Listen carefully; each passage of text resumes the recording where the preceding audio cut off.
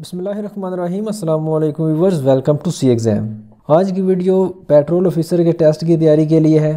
Petrol officer کی jobs recently motorway police نے F P S C کے ذریعے اناؤنس کی تھی۔ اس ویڈیو میں جو کویشچنز ہم نے ڈسکس کرنے ہیں، یہ ایف پی ایس سی کے موسٹ ریپیٹڈ کویشچنز میں سے لیے گئے ہیں۔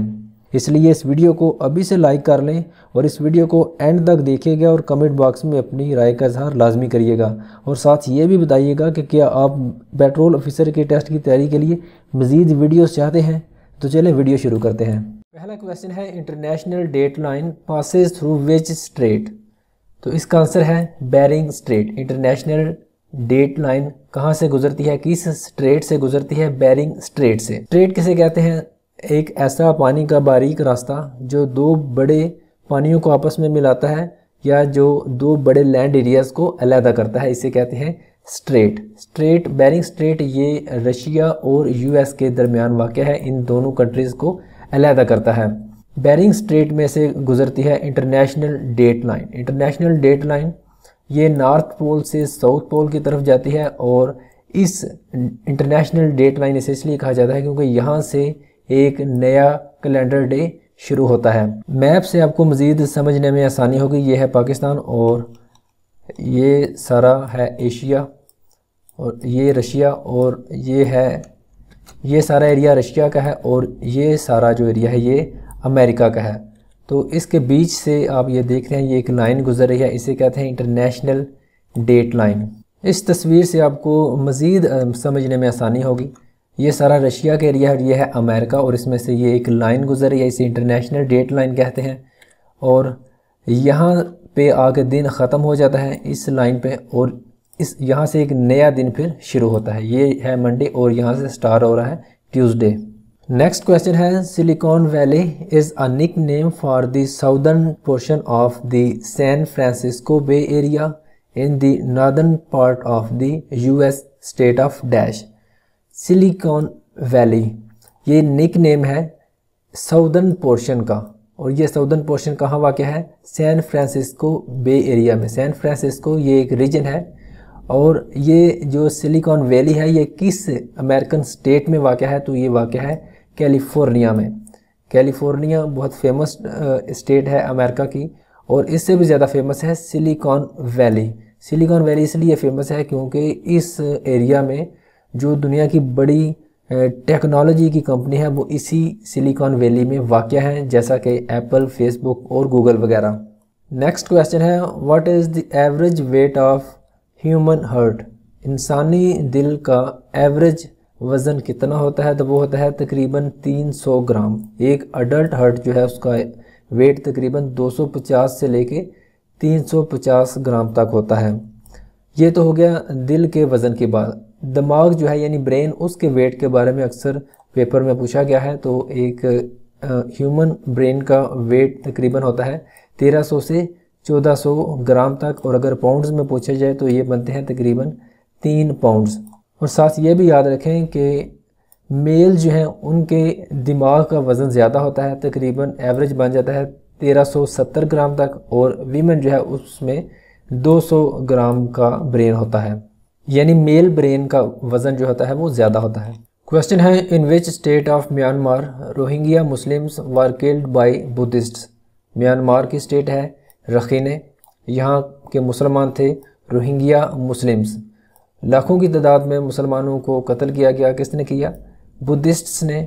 اس کے علاوہ جو میانمار کی سیکورٹی فورسز اور جو ملٹری ہے، اس نے یہ آپریشنز کر کے میانمار میں جینوسائڈ کیا، جو مسلمز تھے ان کو قتل کیا۔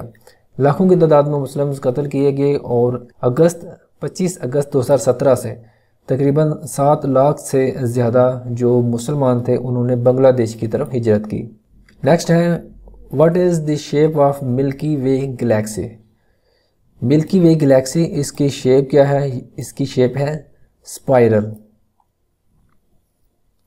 ملکی وے گلیکسی، یہ ہماری گلیکسی ہے یعنی جس گلیکسی میں ہمارا سولر سسٹم ہے، ہماری ارتھ واقع ہے۔ نیکسٹ ہے who established the dual government in India India میں ڈوول گورنمنٹ کس نے اسٹیبلش کی؟ رابرٹ کلائیو ڈوول گورنمنٹ کو ڈائی آر کی بھی کہتے ہیں، اور یہ گورنمنٹ کا سسٹم انٹروڈیوس کرایا تھا۔ رابرٹ کلائیو نے، اور یہ انڈیا ایکٹ نائنٹین نائنٹی کے تحت اسے اسٹیبلش کیا گیا۔ کوشچن ہے Marco Polo a traveller he was born in Marco Polo یہ پیدا ہوئے وینس میں. وینس جو کہ اٹلی کا ایک شہر ہے اور یہ پیدا ہوئے بارہ سو چون میں. کوشچن ہے، سلطان بلبن واز ڈیووٹیڈ ٹو آنسر ہے، بابا فرید شیکر گنج اور ان کا پورا نام تھا غیاس الدین بلبن اور یہ دلی کے سلطان تھے. نیکسٹ ہے behind every successful fortune there is a crime these words are associated with supreme court decision about Panama leaks case actually these words are taken from which novel behind every successful fortune there is a crime یہ words لیے گئے تھے ایک novel ایک بک God father سے جو کہ لکھا تھا ماریو پوزو نے ماریو پوزو اور یہ اوریجنلی یہ ناول پبلش um, ہوا تھا نائنٹین سکسٹی نائن میں اور ان ورڈز کا استعمال کیا سپریم کورٹ نے۔ ایک فیصلے کے دوران اور وہ کیس کون سا تھا جس میں فیصلہ آیا تھا؟ پینما لیکس کے فیصلے میں۔ اس کے علاوہ سسیلین مافیا کا بھی ذکر کیا گیا تھا اور گاڈ فادر کی طرح کی ایک بک جو کہ ماریو پوزو نے ہی لکھی تھی اور وہ پبلش ہوئی تھی انیس سو چوراسی میں۔ اس کا بھی ریفرنس دیا گیا تھا اس ڈسیجن میں۔ گاڈ فادر جو ہے، یہ کس پر لکھی گئی؟ نیو یارک میں ایک مافیا فیملی تھی اور جس کا ہیڈ تھا ویٹو کارلیونے۔ نیکسٹ ہے who was the first governor general of Bengal Bengal کے پہلے گورنر جنرل کون تھے؟ Warren Hastings Warren Hastings in which year Warren Hastings was appointed governor of Bengal Warren Hasting یہ بنگال کے governor بنے seventeen seventy three میں۔ Next ہے which act provided for the appointment of a governor general for Bengal تو British parliament نے ایک act پاس کیا، جس کے تحت گورنر جنرل جو ہے وہ اپوائنٹ کیا جا سکتا تھا بنگال میں۔ تو وہ کون سا ایکٹ تھا؟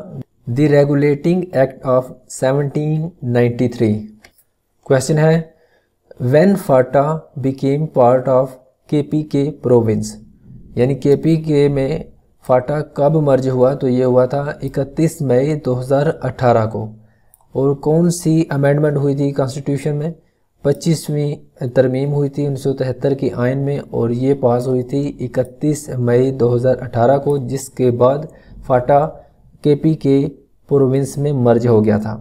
اس کے بعد چھبیسویں لاسٹ امینڈمنٹ ہے، جو کہ پاس ہوئی تھی تیرہ مئی دو ہزار انیس کو، اور یہ بھی فاٹا سے ہی متعلق تھی یعنی فاٹا میں جو ڈسٹرکٹ تھے ٹرائبل ڈسٹرکس تھے، ان میں نیشنل اسمبلی کی سیٹس جو ہیں وہ بارہ تک رکھی گئیں، اور جو پروونس ہے اس میں ان ڈسٹرکس کی جو صوبائی سیٹیں تھیں وہ سولہ سے بڑھا کر چوبیس کر دی گئیں۔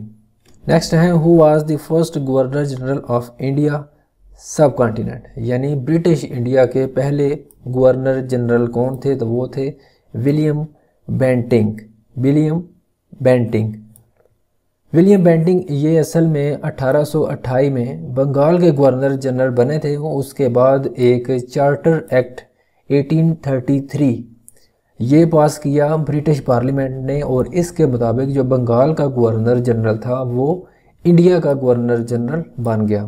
اور یہ کویشچن بھی پوچھا جاتا ہے کہ کس ایکٹ کے تحت بنگال کا گورنر جنرل انڈیا کا گورنر جنرل بنا تو اس کا آنسر ہوگا charter act eighteen thirty three question ہے operation midnight jackal was launched to یعنی آپریشن مڈ نائٹ جیکال یہ کس لیے لانچ کیا گیا؟ تو یہ لانچ کیا گیا to topple Benazir government in nineteen eighty nine یعنی نائنٹین ایٹی نائن میں جو بینزر بھٹو کی گورنمنٹ تھی، اس کو گرانے کے لیے یا نیکسٹ الیکشنز جو ہے وہ کروانے کے لیے یہ آپریشن لانچ کیا گیا۔ اس آپریشن کو مڈ نائٹ جیکال بھی کہتے ہیں۔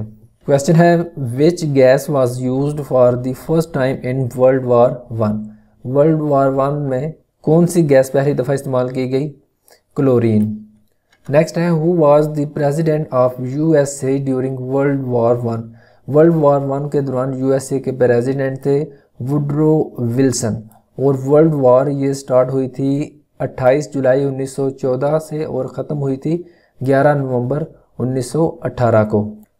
کوشچن ہے fall of Berlin wall was the most significant event in recent German history and the wall event was to place on یاد رکھیں برلن وال یا فال آف برلن وال، یہ بہت ہی امپارٹنٹ ایونٹ ہے جرمن ہسٹری میں، اور یہ وال گری تھی نو نومبر انیس سو نواسی کو اور تعمیر ہوئی تھی انیس سو اکسٹھ کو۔